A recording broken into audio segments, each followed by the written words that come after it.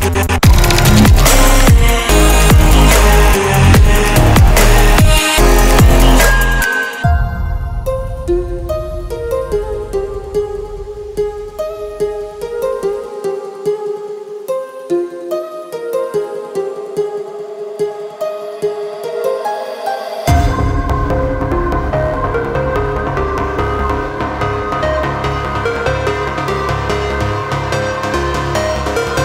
Xoş eşitdik hər birinizi, xoş gördük. Bəli, Asafes Gold Radiosunda yenidən bizim vaxtımızda mütəmadi olaraq sizin görüşünüzə gəlirik.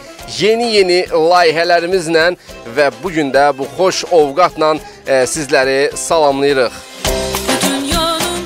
Mikrofon önündə mənəm Rüfət. Yeni layihəmizin anonsunu da neçə gündür sosial media üzərindən və həmkarlarımızın da sayəsində e, bu layihəmizi də təqdim etmiş olduq. Gözəl bir layihədir və bu layihə Azərbaycan Dövlət Bədən Tərbiyəsi İdman Akademiyası, həmçinin Azərbaycan İdman Jurnalistləri Federasiyasının birgə e, belə deyək də birgə təşkilatçılıq və birgə ərsəyə gətirdiyi bir layihədir və layihənin də adı Media Sektor adlanır və bu gündən etibarən hər həftə sizlərin e, görüşünüzə gələcək media sektorunda və idman, media və bu sahədə görülən işlər, həmçinin də e, media sektorunun inkişafı üçün e, nələr edilir, çətinliklər nədən ibarətdir və çətinliklərdən çıxış yolları, bax bu məsələləri biz müzakirə edəcəyik. Bu andan etibarən bizim verilişimiz start götürür. Yaxın yarım saat ərzində də bərabərliyimiz davam edəcək və bu gün verilişimizdə iki qonağımız da təşrif buyurub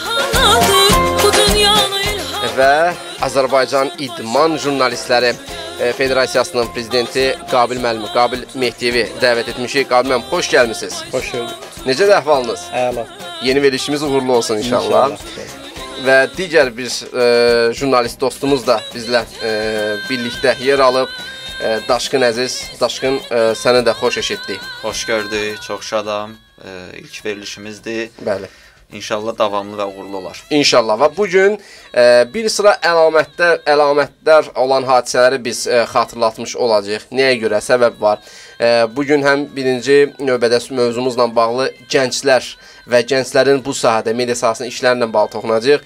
Və ələxüsusda bu gün e, gənclər günüdür və biz o gözəl gün münasibətilə bütün gəncləri, bütün dostlarımızı, ətrafımızda özünü gənc hiss edən hər kəsi e, bu gözəl gün münasibətilə təbrik edirik. Həmişə e, belə deyək də gənclərin inkişafından danışanda, gənclərin ümumiyyətlə işindən danışanda inkişaf, e, tərəqqi həmişə özünü göstərsin e, deyirik. Bayramınız və gününüz mübarək olsun əziz gənclərimiz və bu arada bizim söhbətimiz həm də e, Daşqın Əzizi e, çağırmağımızın ən böyük səbəbləri həm birinci media sektorundan da həm də e, o gözəl İkinci Vətən müharibəsi bizim şanlı tariximiz e, və Vətən müharibəsində qəhrəmanlıq göstərən və torpaqlarımızın azadlığı uğrunda, e, işğaldan azad edilməsi uğrunda şücaətini göstərən e, dostlarımızdan, həmkarlarımızdan biri olub. O 5 e, jurnalist həmkarımızdan biri olub daşqın və ona görə də e, biz istədik ki, elə e, Qabil müəllim də məsləhət əsasında e, biz dəvət elədik. Hər biriniz xoş e,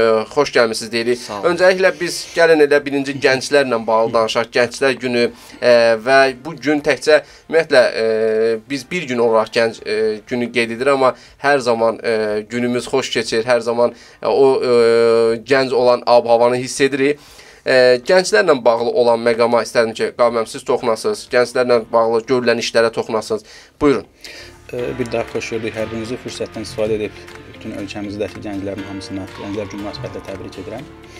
Eyni zamanda idman mediasında da xeyli gənclər var. Onlara da təbrik edirəm və uğurlar arzulayıram. Və bu gün bizim verilişin qonağı Daşqın də, yəni idman jurnalistidir və e, ikinci Qarabağ müharibəsində iştirak eləmiş 5 idman jurnalistindən biridir və həm də yaralanıb qazidir. E, can sağlığı arzulayırıq. Daşqın Bəli.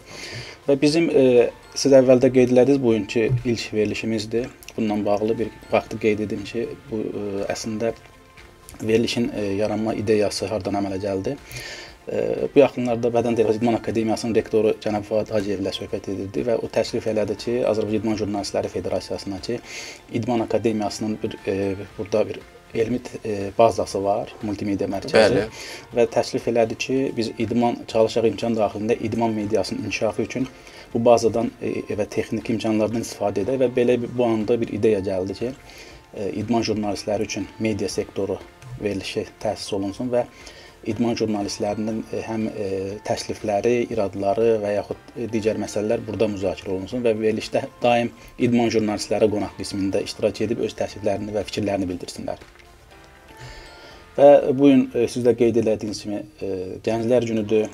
Əsas bu gün o əhvalda danışaq ki, gənclik gələcəyimizdir və hər kəs öz sahəsindən danışır. Biz də idman mediasının gələcəyindən danışaq və idman mediasında olan gənclərin sabahını necə görürük? Onlar üçün biz sabah hansı şərait yaratmalıyıq? Onların hazırda bu gün idman mediasında olan problemləri sabah onlara sabaha ötürməmək üçün bu gün hansı addımlar atmalıyıq? Bəli, bəli. Bu vacib məsələdir. Yeri gəlmiş elə biz gənclərlə bağlı danışdığım məqam elə söhbət düşmüşkən Ümumiyyətlə gənclərin bu mediada, idman mediasında rolu, peşəkarlıq səviyyəsi necə dəyərləndirirsən? Yəni bax gənc bizim yazarlarımız var və ümumiyyətlə həm saytlar, həm ümumiyyətlə müxtəlif ə, işlədiyi ə, insanların, yəni gənclərin işlədiyi yerlər var. Ümumiyyətlə bu idman mediasında bu gənclərin rolunu, ə, peşəkarlıq səviyyəsini necə dəyərləndirirsiniz və necə görürsüz? Açığı ə, mən gənclərin bu gün fəaliyyətini yüksək dəyərləndirərdim.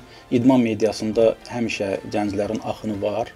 Bu gün də bizim Azərbaycan Jurnalistləri Federasiyasında çox kadr bankı ki, biz e, informasiyalar toplanır və orada da baxanda görürük ki, bu günün özündə düzdür, veteran idman jurnalistləri də var, orta yaşlı nəsil də var, amma gənclər yenə axın edir. Bu da əsasən onların idmana olan marağından irəli gəlir. Bu gün daha çox mən özüm bir statistika olaraq qeyd edirəm ki, ölkəmizdə 2 idman telekanalı var. Bəli. CBC Sport telekanalında gənc idman jurnalistləri daha çoxdur. Hı -hı. Və eyni zamanda onlayn mediada da var ki, məsələn bunların bir çoxunun həm yazılarını, şərhlərini baxdıqca görürsən, yəni var e, potensial var.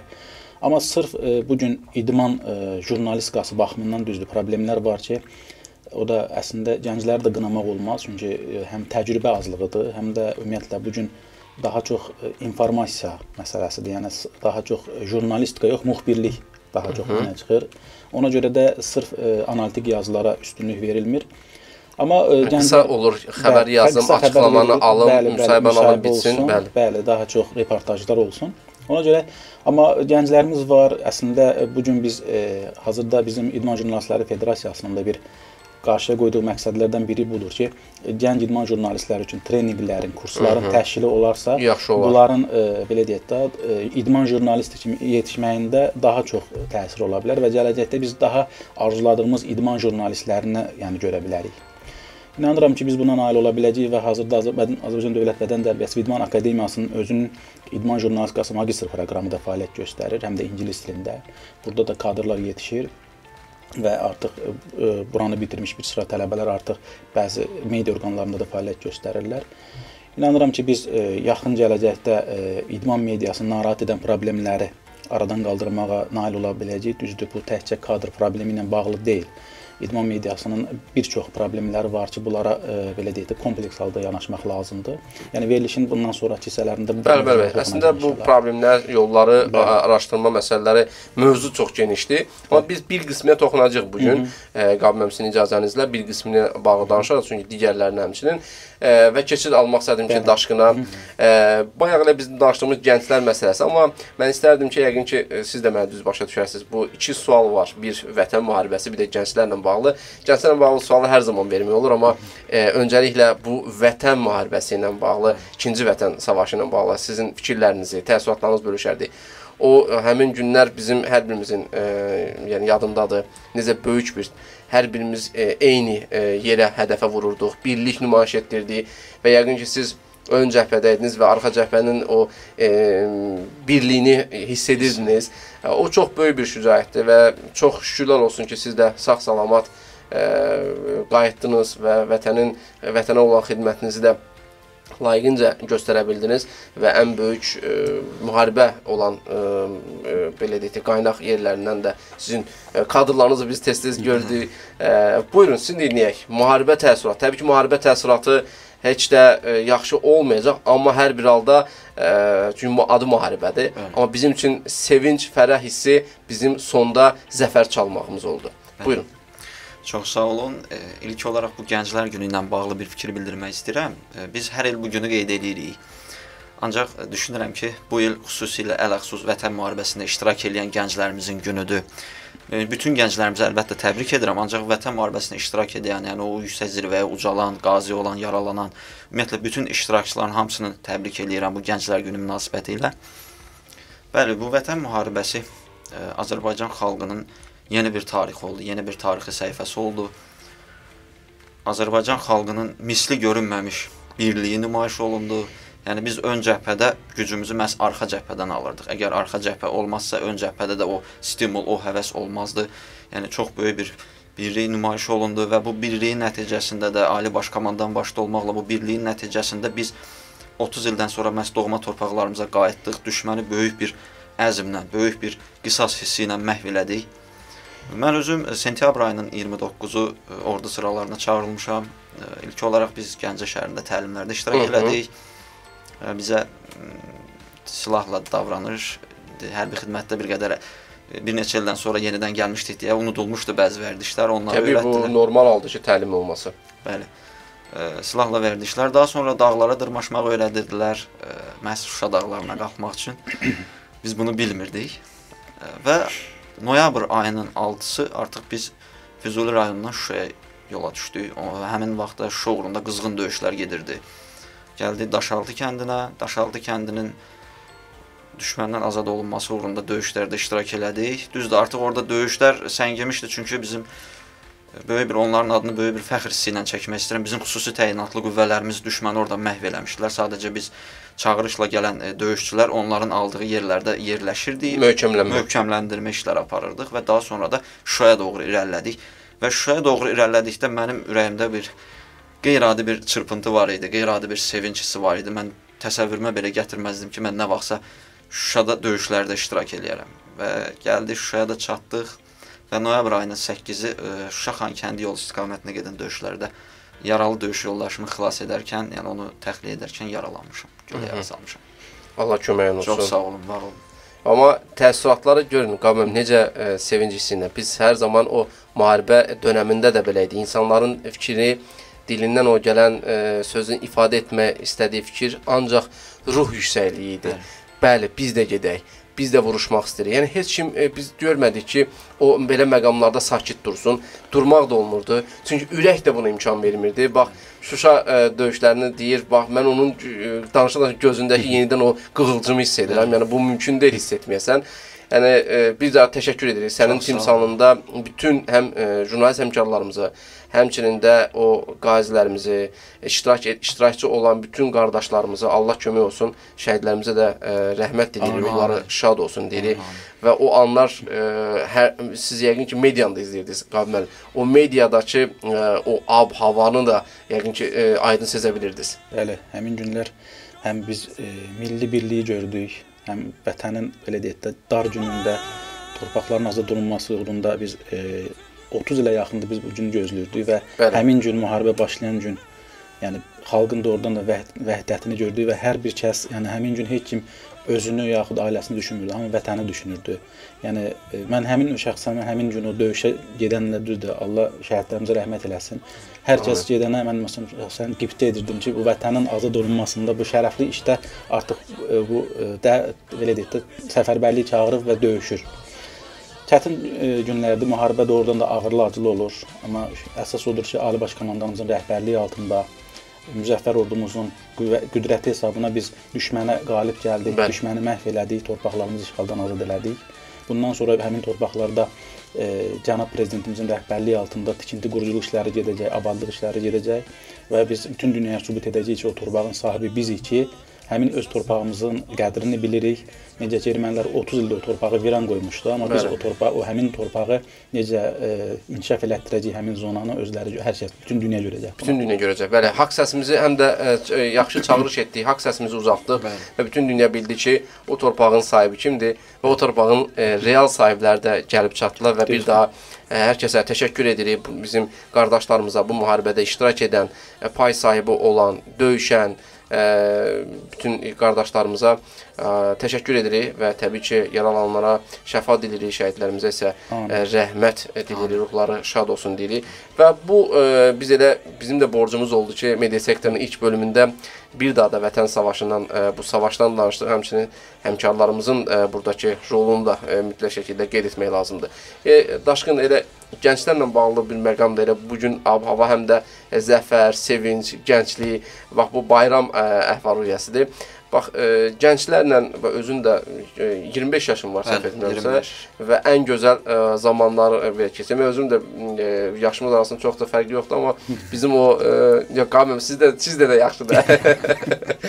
və ə, ən, gözəl həm ə, düşüncə, həm ə, ideyaların çox olması, işləmək, həvəs. Yəni bu ə, ə, məsələ ən gözəl pik həddindədir. Bəli. Bax bu sahədə, bax ə, sənin də ətrafın ə, çoxlu gənclərləndir.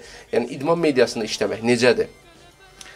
İdman mediasında işləmək əlbəttə çox mənim xüsusi həvəsim olduğu üçün mənim üçün çox qürur vericidir. Hı hı. Elə sırf məhz e, idmançılar, e, şərhçilərimizin mən o zaman te, televiziya vasitəsilə, o zaman sosial şəbəkələr də yox idi. Yəni ancaq televiziya vasitəsilə e, şərhçilərimizin şərhlərinə baxırdım, futbol verilişlərinə baxırdım və məndə maraq yarandı və sırf ixtisasımı bu yöndə seçdim, jurnalistika yönündə və 2012-ci ildə Bakı Dövlət Universitetinin jurnalistika fakültəsinə qəbul oldum.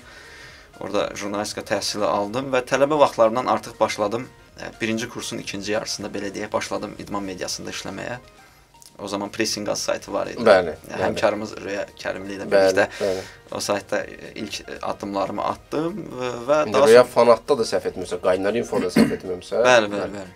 Hmm, Daha sonra e, onlayn radiolardan birindən e, dəvət aldıq. Həmin o Pressing futbol verilişini apardıq. E, Daha sonra mən hərbi xidmətə getdim. Universiteti bitirdikdən sonra hərbi xidmətə getdim. Hərbi xidmətdən qayıtdıqdan sonra da Sportnetas saytında Hı -hı. bizim dəyərli həmkarımız Elşən müəllimlə bir yerdə işlədik. Düzdür, açıq deyim, çox qısa oldu işləməyimiz. Çünki şəxsi e, məsələlərə görə mən xarici ölkə xaricinə getməli oldum deyə bu işimi yarımçıq qoydum. Asiya tərəfə getmişdin səhv etmirəmsə. Yox, on sonradan Ha, getdim. Nə, o Rusiyaya getmişdim, Rusiya Federasiyasına. Qayıtdıqdan sonra da artıq 4 ilə yaxındır ki, Offside sport mediada Hı hı. çalışıram və həmin Offside sport mediada çalışdığım müddətdə jurnalist kimi e, Çinə ezam olunmuşdum. Yəni ölkəmizi təmsil etmişdim orada. Maşallah. Orada təlimlər idimi yoxsa Bəli, me beynəlxalq media proqramı idi. Orada e, 18 ölkədən nümayəndə gəlmişdi. Hətta mənfur qonşularımız Ermənistanda nümayəndəsi var idi orada. Və orada mən də ölkəmizi bacardım ki, az da olsa, yəni əlimdən gəldiyi qədər təmsil edeyim.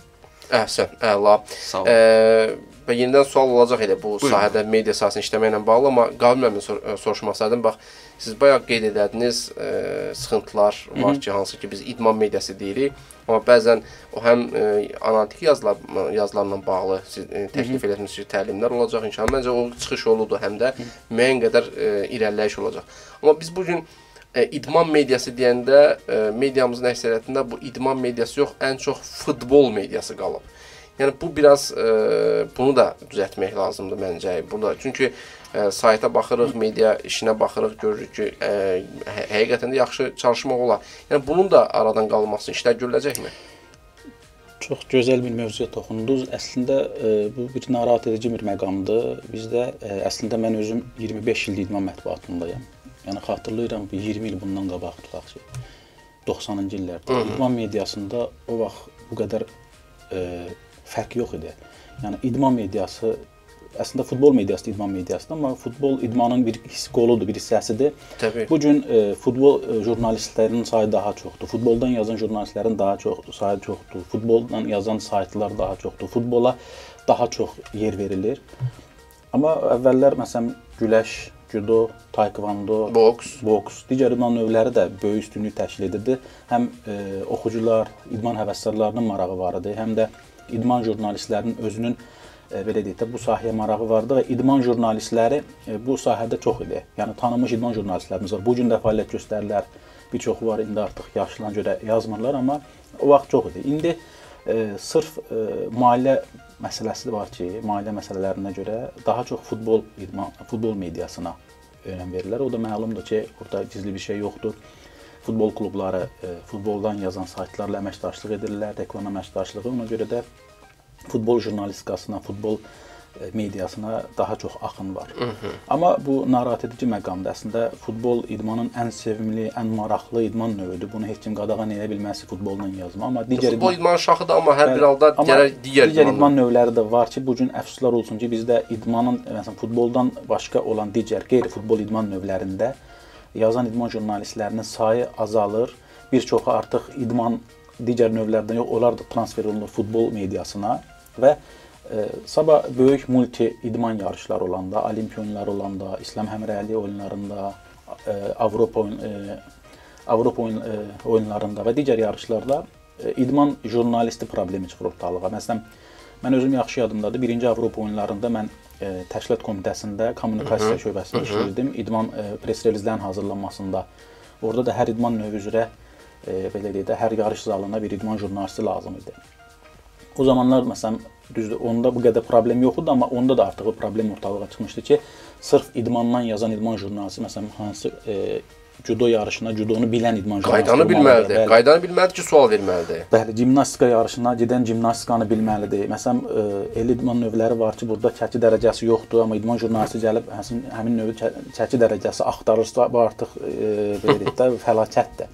Ona görə e, bu məsələləri yəni yoluna qoymaq lazımdır. Biz idman AJF olaraq bu məsələ ilə məşğuluq, bunun çıxış yollarını axtarırıq və biz e, yeri gəlmişdən qeyd edim ki, biz e, bildiyiniz kimi Bu yaxınlarda cənab prezidentimizin sərəncamı ilə e, media inkişafı dövlət agentliyi, yaradıldı media və həmin agentlik e, artıq e, fəaliyyətə başlayıbdı. Daha doğrusu Defend bazası əsasında fəaliyyətə başlayıbdı və ümid e, bütün idman mediası ümid edir ki, e, həmin bu agentlik e, təkcə ictimai siyasi medianı yox, e, idman mediasını da dövlət dəstəyini göstərəcək, e, maraqlanacaq və bununla bağlı mən bu yaxınlarda e, həmin agentliyin rəhbəri ilə Əhməd müəllimlə görüşdüm. O da özü də ə, e, belə deyək, danışanda özü də bu məsələni vurğuladı ki, idman mediası da ümumi medianın bir qoludur, onu ayırmaq olmaz və belə bir e, razılığa gəldik ki, biz Azərbaycan Jurnalistləri Federasiyası e, idman mediasının inkişafı, idman mediasına dövlət dəstəyi necə ola bilər? Bununla bağlı bizim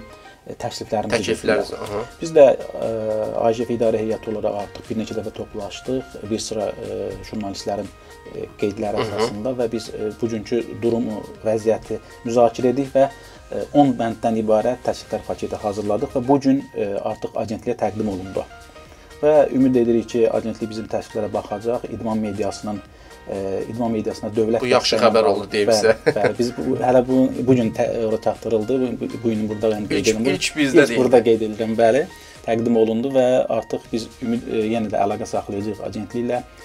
E, biz idman e, jurnalistlərinin də gözləntiləri böyükdür. Yəni şəxsən bu gün idman mediasında olan, önündə olan, üzvdə olan idman jurnalistlərinin hər biri fərdi şəkildə müraciət edirlər, əlaqə saxlayırlar, zəng edirlər, məsələ ilə bağlı narahatlıqlarını ifadə edirlər və Biz e, onların hər birinin e, gözləntisi var agentlikdən və biz də AJF olaraq idman jurnalistlərinin hamısını bir belə deyək də bir e, yekdil bir təşkilatı olaraq bu missiyanı özlərimizə götürdük və təklifləri verdik və bundan sonra təkliflərlə bağlı müzakirələr də aparacağıq. Ümid edirəm ki, dövlətin dəstəyi olacaq bu sahədə və dövlətimizin köməyi ilə biz idman jurnalistikasında qeyri-futbol belə deyək də, Bəli. jurnalistikasının daha doğrusu idman, digər idman növlərinin məşğul olan jurnalistikanın inkişafına nail olacağıq. Bu yenidən e, belə deyək də, bu sahəyə bir axın olacaq. Həmin idman növləri də diqqət mərkəzində olacaq. E, inanıram ki, qısa müddətdə biz idman mediasını narahat edən problemlər, əsas burada maliyyə problemləri var, məlumdur burada idman Təbii. mediası ilə bağlı və digər problemləri aradan qaldırılmasına nail olacaq və biz AJF olaraq e, bu sahədə sonadək fəaliyyət göstərəcəyik ki, idman mediasını narahat edən bütün problemləri e, belə deyək də ən azından biz bunu ictimailəşdirək, lazım olan dövlət qurumlarına biz jurnalist idman jurnalistlərinin səsinə çatdıraq və nəyəsə nail ola bilək.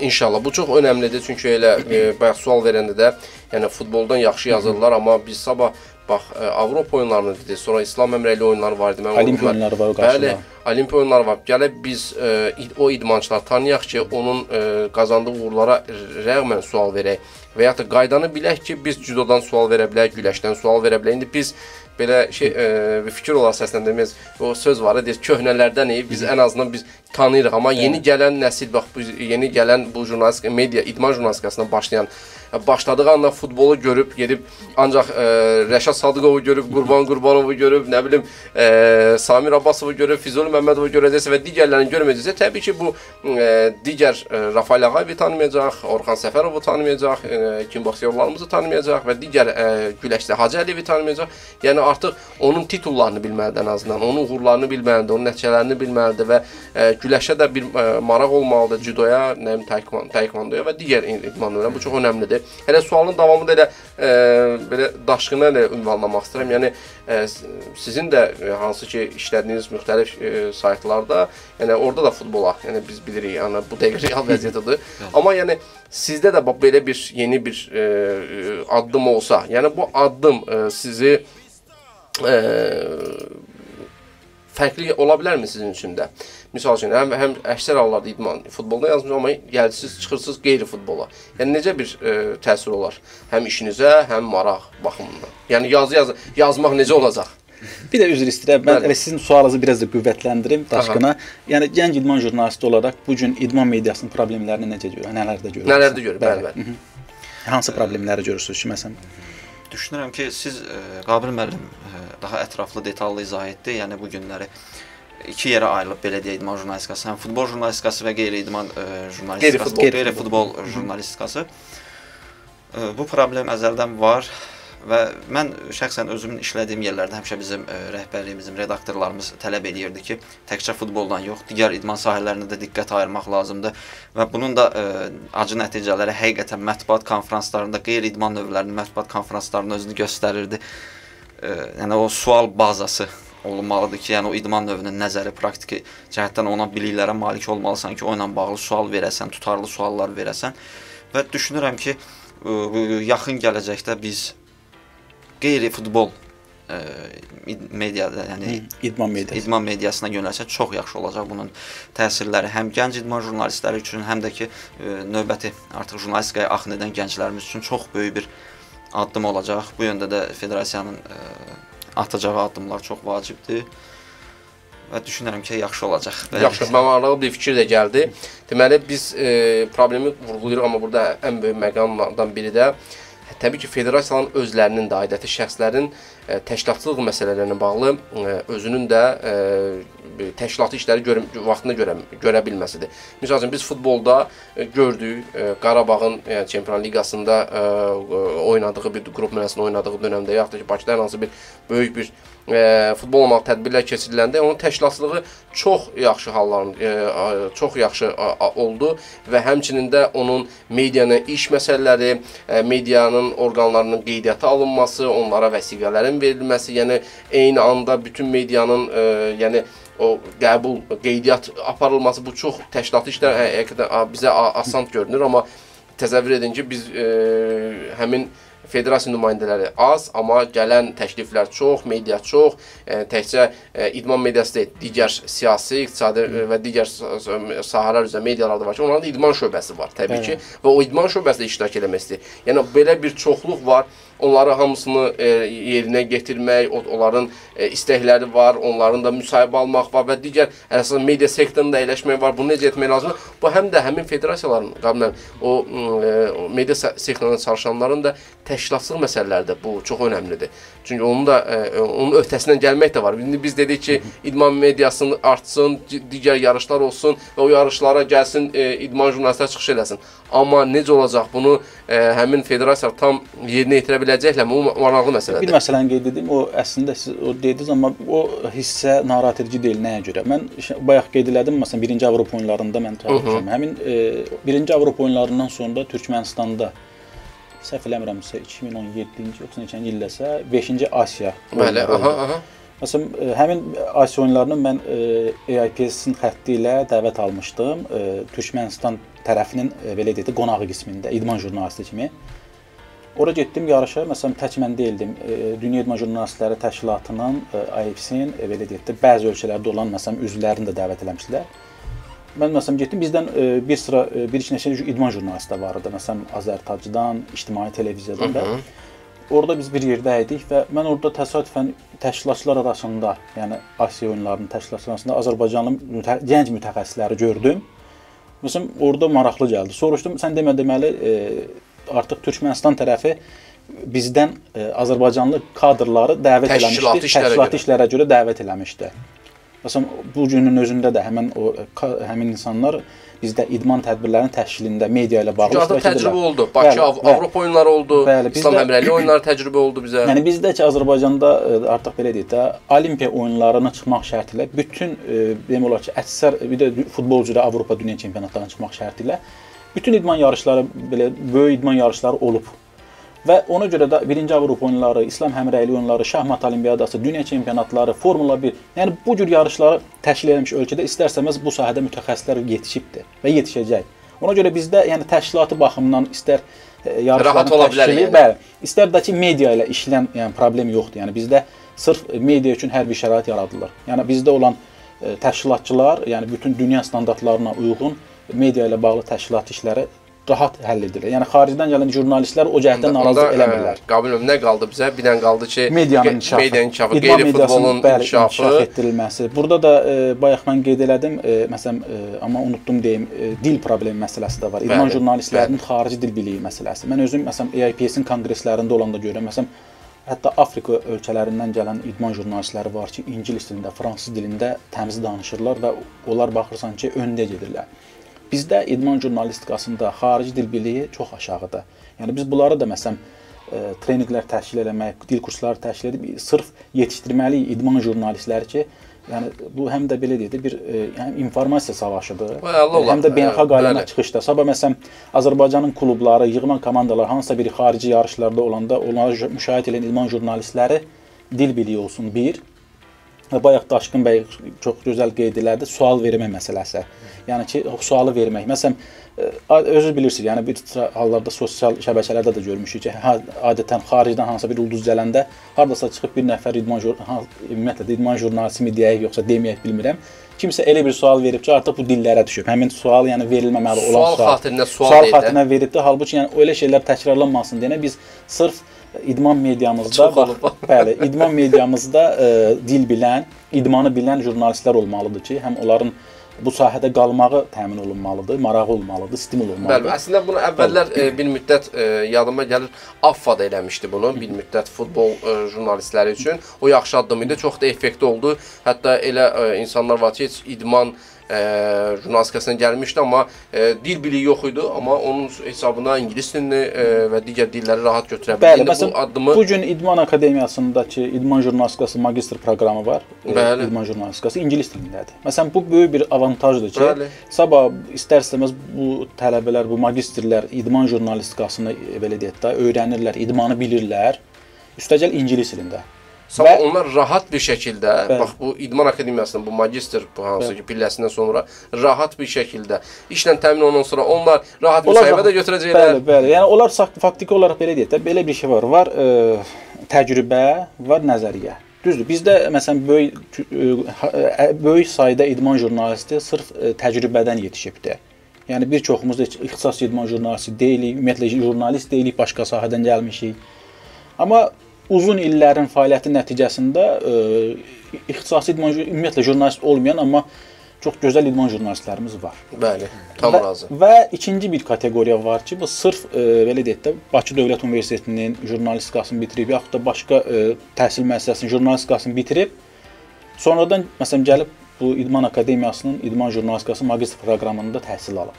Bu artıq belə deyək də nəzəriyyə cəhətdən artıq e, tam əla səviyyədə. Amma istərsə sonra onların məsələn təmin olunmalıdır ki, onlar e, media orqanlarında, xüsusilə idman media orqanlarında təcrübə keçsin, imkan varsa hətta işə düzəlsin, çalışsın.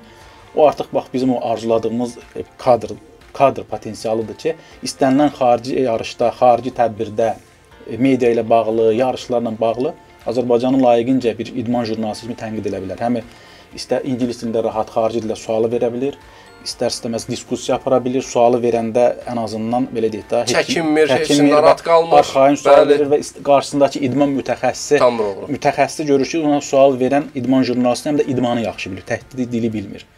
Yəni bu problemlər aradan qalxmalıdır və bunlar bunun üçün çalışmaq lazımdır. İnşallah. İnşallah. Arzu edirik ki, bax bizim İdman Akademiyasında bu ə, magistr pilləsində belə bir məqam var, belə bir hal var. Və arzu edirik ki, bu sizin də İdman Jurnalistləri Federasiyasından belə bir qarşıdakı müddətlərdə ə, təlimlər olarsa, nə gözəl ki, o da bir fayda olacaq. Yəni deyim, deyim sizə, o da böyük bir ə, jest olacaq Hı -hı. və ə, əsas odur ki, medianın ə, yəni biz hərdən qeyri-futbol, futbol, qeyri-futbol deyirik, amma bu futbolla yazan ə, jurnalistlərimizə şey kimi gəlməsin, yəni pis gəlməsin. Burada sadəcə ə, bizim məqsədimiz medianın hər tərəfini inkişaf etdirməkdir. Yox, mən üzr istəyirəm. Mən özüm o mənada demirik. Çünki futbol jurnalistləri həm bizim yaxın dostlarımızdır. Şəxsən Bəli, mən özüm ona görə Yox, şəxsən mən özüm 25 il bundan öncə futbol jurnalisti idim. Mən məsələn e, idman metlə yazanda futboldan başlayırdım. Bütün o 90-cı illərdə e, sırf futboldan reportajlar yazırdım. Milli çempionatın oyunlarına gedib. Yəni sırf idman jurnalisti olmuşam. Mən Əhməd Ələsərovdan məsələn gedib oteldə müsahibə götürürdüm. E, rəhmətli Ələsbər Məmmədovun evində evində müsahibə götürürdüm. Yəni sırf idman futbol jurnalisti idim. Amma e, belə deyək də, sonra mən idman qəzetində baş redaktor təyin olunan sonra mən bir növ futboldan uzaqlaşdım, ümumi idman jurnalisti kimi başladım. Yəni e, futbol jurnalisti idman jurnalisti. Sadəcə bizdə futboldan yazan çoxdur əladır. Futbol jurnalistlərimizin sayı çoxdur. çoxdur bu da əladır. Futbol e, portalları, saytlarımız da çoxdur. Bu e, azalmasın. Biraz da çox Bəli, bizim amma bizim məqsədimiz e, məsələ odur ki, idmandan, yəni yazanlar da aksion tərəfin e, bəli, futbola yəni, qaldırmaqdır. Bəli, idman, yəni sırf futbol yox, digər idman növlərindən yazan medianı və jurnalistikanı inkişaf elətdirmək. O sahəyə axın olsun, maraq olsun. Yəni sırf bu bu məsələdir bizdə. Yoxsa futbol jurnalistləri onlar da bizim Ya ona görə deyirəm ki, bizi görə bilərlər və bizim Yox, bizim elə AJF-nin üzvlərinin böyük əksəriyyəti futbol jurnal futbol jurnalistləridir onsuz da. Ona görə deyə bilərlər ki, bunlar niyə ancaq futbol jurnalistlərini burada qaralayıblar belə deyə. Yəni da hətta mən bir söz deyim də, futbol jurnalistlərimizin özü də məndən şəxsən Yəni belə deyək də üzdə olan tanıdığımız futbol jurnalistləri var ki, peşəkar. Onlar özləri də şəxsən mənlə söhbətdə dəfələrlə sayt rəhbərləri deyiblər ki, onların özünün də bir növ ağırlı bir yeridir ki, e, idman mediası inkişaf eləsin və həmin futbol saytları, futbol jurnalistləri, futbol saytları da digər idman növlərinə yer ayırsın. Bəli. Onların da yəni arzusudur bir növ. Əla olar, əla olar. Maraqlı bir verilişimiz alındı. Artıq yavaş-yavaş sonlandırırıq. Hər birinizə təşəkkür edirik. Sağ olun. Minnətdarıq ki, e, belə bizimlə maraqlı diskussiya apardınız və media sektorunun ilk bölümünü biz həyata keçirmiş olduq. Hər birinizə təşəkkür edirik və inşallah hər həftə e, biz bunu reallaşdıracağıq digər dostlarımız, həmkarlarımızın sayəsində və İdman e, Jurnalistlər Federasiyasının nümayəndələrini də biz tez-tez qabəm görmək istəyirik burada. İnşallah gələ Çünki e, mən siz bu yola e, əl atmısınızsa, mən sizin həm e, işlərinizə, həm sizin görə bildiyiniz iş və işin axırına çıxmaq məsələsi var da.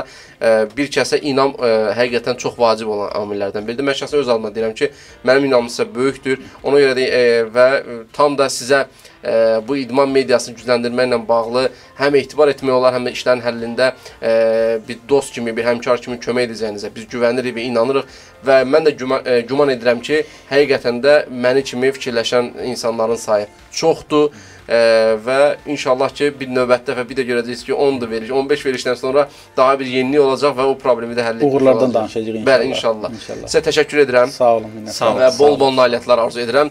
Belə dəyərli e, dinləyicilərimiz, e, texnologiya inkişaf edib ki, biz Asavis Gold radiosunda deyirik, amma həm bizi səsimizi eşidə bilirsiniz, həm də bizi rahat görə bilirsiniz. Bu da texnologiyanın yaratdığı məqamlardan biridir. Növbəti buraxılışlarımızda yenə qonaqlarımız olacaq və növbəti buraxılışlarımızda biz həmçinin Azərbaycan İdman Jurnalistləri Federasiyasının növbəti planlarından da danışarıq. E, nələr gözləyir bizi? Növbəti indi Qabil müəllim bir neçə ipucu verdi və hətta eksklüziv xəbər də bizə çatdırdı.